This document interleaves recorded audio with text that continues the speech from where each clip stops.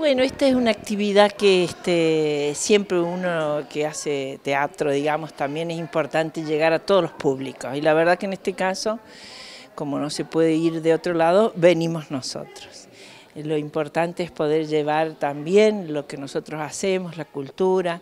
Este, este es el grupo de teatro independiente Mercedes y bueno, con muchos años de existencia y pensamos que, que era bueno, hicimos todos los trámites como corresponde desde Derechos Humanos y desde la Secretaría, por supuesto, y, y acá estamos, por suerte. ¿En qué consistió la obra?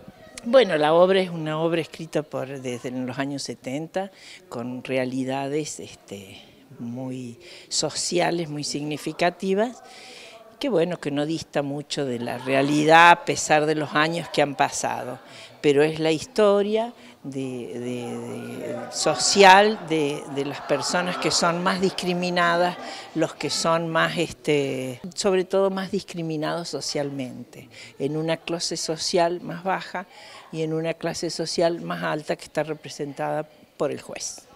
¿Es la primera vez que la Secretaría participa con una actividad así? No, no, hace muchísimos años hicimos una en cuando en Villa Mercedes este, había estaba la cárcel de encausados, digamos, en Villa Mercedes, o sea que mira los años que hace, ya ni me acuerdo qué año, pero hicimos también.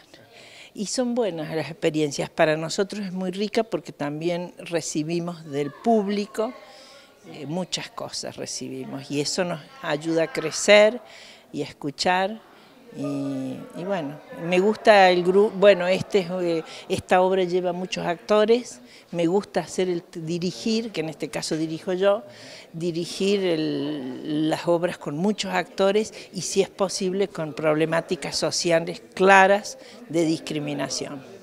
¿Van a seguir este tipo de actividades así? Si nos dejan, nosotros obras tenemos, esta y otras más. Si nos dejan, venimos. Sí, como en Villa Mercedes estamos nosotros siempre, todos los fines de semana. Siempre con la temática social como hilo conductor. Sí, sí, exactamente.